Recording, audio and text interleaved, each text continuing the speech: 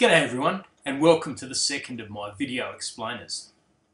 This time I've been asked a question which I reckon virtually every lawyer has been asked at least once and that is how do you live with the fact that you may be representing really bad people and trying to keep them out of jail even when you know that's where they belong. How can you represent someone if you know that they're guilty? It's a really good question and one that the legal profession has grappled with for years. Let me try to explain. The starting point is one of our basic principles of justice and one that you've heard me talk about before. Everyone is presumed to be innocent until the moment they're pronounced guilty by a court. So if a person walks into a lawyer's office and asks for help, or if they call for the cells and ask from the cells and ask for help, then in the eyes of the law, that person at that time is an innocent person. Now, that might seem a bit hard to swallow, but let's consider the alternative. If I was asked to provide representation to somebody and I decided to say no because they're guilty as hell, then doesn't that mean that I've kind of appointed myself to be the judge without even hearing the witnesses or reading the evidence? Do you want to be judged that way by a lawyer's gut instincts?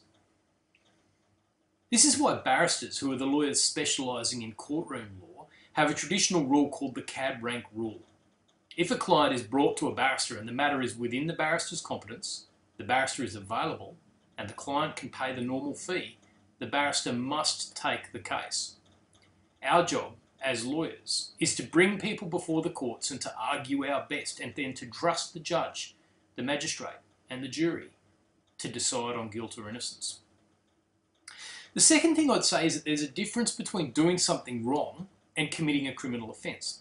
For a criminal offence to be committed, the elements of the crime must be proven by evidence without any defence applying. Sometimes people may think they've committed an offence when they actually haven't. And sometimes people may be convinced that they've done the right thing when they've actually committed an offence. So just because a client walks in the door and says, I've committed an offence, doesn't necessarily mean that they have. You'd want to do some illegal analysis first. Let me give you an example. Let's say our defendant was approached in the street by someone acting very aggressively and waving their fists around. Our defendant became very scared and punched the guy before the scary guy could punch him. Our defendant may well be convinced that he's committed an assault. As a lawyer, though, I'd be looking to see first whether the act might be excused as self-defence. Okay, now some of you are still saying, dude, I do not buy this. You are still looking at going into court with someone who has done bad, bad stuff and trying to get them off. How do you live with that? Well, the next thing for me to tell you is that if it's really clear that a client has committed the offence, either because they admit it or because the prosecution case is just that strong, then any decent lawyer is going to tell the client about the substantial advantages that come from pleading guilty.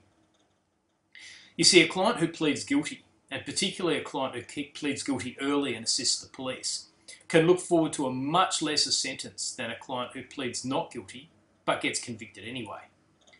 This is why the vast majority of criminal matters proceed by way of a guilty plea. Many times, it's the lawyers helping the guilty client to see that pleading guilty will provide the best outcome for them. So most of the time when you have a guilty client, they're going to plead guilty and you work on getting an appropriate sentence. What happens then if the client wants to plead not guilty? Well, it's pretty fundamental that nobody can plead guilty except the client themselves. If they want to plead not guilty, that's their right. If they do so, there's two pathways the lawyer can take. The first pathway is what's called putting the prosecution to its proof. In that situation, the defendant, who has the right to remain silent, remains silent and effectively challenges the prosecution to prove the offence. If a defence lawyer is instructed to put the prosecution to its proof, they won't bring any evidence before the court at all. What they will do is test the evidence which the prosecution brings before the court. So if there's CCTV footage which the prosecution says is of my client, I might challenge that and demand that the prosecution prove that the footage is of my client. The second way to conduct a defence is what's known as a positive defence. This is where the defendant actually asserts their own version of what they say happened. An alibi, I wasn't even there at the time, is a classic version of a positive defence. Now, a positive defence almost always requires the defendant to forego their right to silence because it's obviously pretty hard to put up any evidence of your own while staying silent. Either way, though, there are a few rules which the lawyer must follow. First and foremost, the lawyer's highest duty is not to the client, but instead to the court. So the solicitor or barrister must not knowingly lie to the court. And if they know that the defendant or a witness that they have brought before the court has been lying to the court, then they must go to that person, the defendant or the witness, and demand that the record be corrected.